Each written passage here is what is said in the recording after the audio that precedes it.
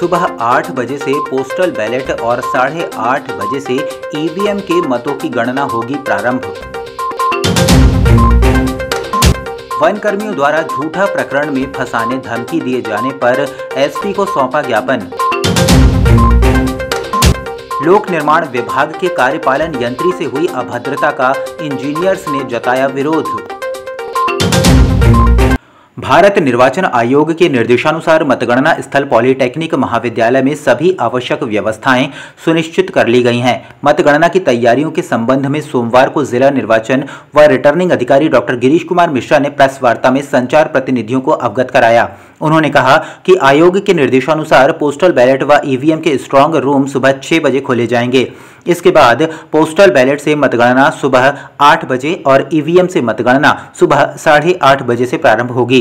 Police अधीक्षक श्री समीर सौरभ ने parking व्यवस्था और तीन चरणों की सुरक्षा व्यवस्था के बारे में जानकारी दी। वन विभाग के कर्मचारियों द्वारा आदिवासियों को प्रताड़ित करने व मारपीट कर झूठा प्रकरण दर्ज करने की धमकी दिए जाने पर उनके खिलाफ दंडात्मक कार्रवाई कर शीघ्र गिरफ़्तार करने की मांग को लेकर सोमवार को मध्य प्रदेश आदिवासी विकास परिषद के जिला अध्यक्ष दिनेश ध्रुवे, शुभम उइके के नेतृत्व में पीड़ित आदिवासी व उनके परिजनों ने एसपी कार्यालय पहुंचकर पुलिस अधीक्षक को ज्ञापन सौंपा। इस दौरान ज्ञापन में उल्लेख किया गया कि उनतीस मई को दोपहर डेढ़ बजे वन विभाग के अधिकारी कर्मचारियों द्वारा अपने शासकीय वाहन में प्रकाश पिता मुलान गोंड, लोकेश पिता, अंतराम उइके, ताराचंद पिता, रामचंद्र इड़पाचे, तीनों निवासी ग्राम नारवांजपुर, बुदबुदा थाना वारासिवनी को जबरन बैठाकर तिरोड़ी रेंज डिपो लाया गया। तीनों को रास्ते में हाथ मुक्कों से पीटकर तिरोड़ी रेंज ऑफ़िस में चमड़े के बेल्ट व डंडों से बेदम पिटाई की गई। हमारे हम घर में थे सर, घर से हमको उठाए तो हमें बताया नहीं गया। सीधा फिर हमको उठा के सीधा तिरोड़ी लेके गए। तिरोड़ी में पूछताछ किया और मारते रहा। अब बोल थे हमको पूछे कि कौन से केस में लेके आए आपको पता है बोले। हम बोले, हमको पता नहीं सर, आप कौन से केस पे लेके आए।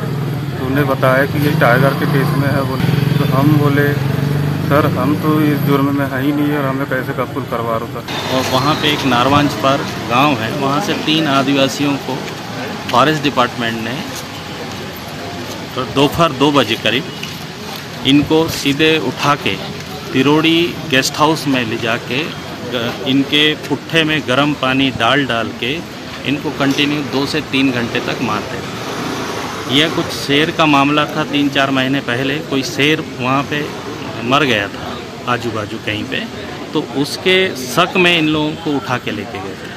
और इनसे, इनको मार मार के पूछा गया और इतना मारा इतना मारा, क्योंकि जो अपराधी थे, वो पकड़ा भी गए हैं। उनसे पूछा गया कि इनको तुम जानते हो क्या? तो उन्होंने बोला कि हम नहीं जानते।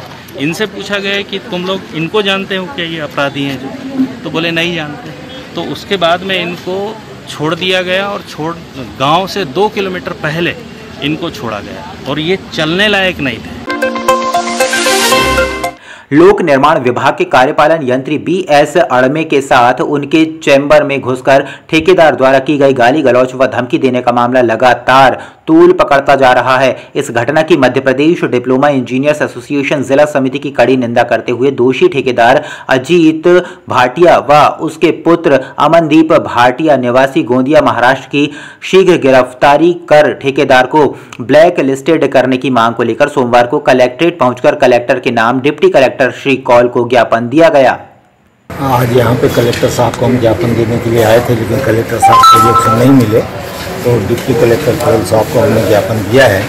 पी के एग्जीक्यूटिव इंजीनियर सम्मानित श्री अड़मे साहब हैं कार्यपालन मंत्री उनके साथ, ठेकेदार के द्वारा चेंबर में जाके गाली गलौज, जातिगत अपमान किया है उन्होंने और जान से मारने की धमकी दी है उसने इसके पहले भी पूर्व में भी उसने प्रधानमंत्री सड़क के जीएम चार एच खरे थे, हेमंत खरे साहब, उनके साथ भी उनके घर पे जाके अभद्रता की थी। स्थानीय मुल्ला स्टेडियम में उनतीस मई से आयोजित सिक्स ए साइज़ हॉकी प्रतियोगिता का फाइनल मैच रविवार की शाम चैलेंजर व यंग चैंपियन के बीच खेला गया, जिसमें चैलेंजर टीम विजयी हुई। मैच के मुख्य अतिथि के रूप में नेहरू स्पोर्टिंग क्लब के अध्यक्ष किरण भाई त्रिवेदी, हॉकी संघ के उपाध्यक्ष विजय वर्मा, क्रीड़ा निरीक्षक दीपक गिरी गोस्वामी, एथलेटिक्स संघ के सचिव नरेश धुवारे, कराटे प्रशिक्षक सजिंद्र कृष्ण उपस्थित रहे। मैच में निर्णायक के रूप में मोहम्मद सलीम सिद्दकी व समीर चौधरी रहे। इस दौरान अतिथियों के हाथों विजेता व उप विजेता टीम को पुरस्कार वितरण किया गया। इसके अलावा प्रतियोगिता में बेहतर प्रदर्शन करने वाले खिलाड़ियों को भी व्यक्तिगत पुरस्कार देकर सम्मानित किया गया। हॉकी के प्रति मेरा प्रेम जागा है और आप लोग इसी प्रेम से, इसी खेल भावना से खेलते रहे तो मैं आपके साथ हूँ, सदैव रहूँगा। जहाँ पे भी रहूँ, चाहे वो हॉकी संघ रहे, नेहरू स्पोर्टिंग क्लब रहे या आपका समर कैंप रहे गवर्नमेंट का रहे, सब मैं आगे चल के, बढ़ चल के हिस्सा लूँगा और आप लोगों को प्रोत्साहित करते रहूँगा।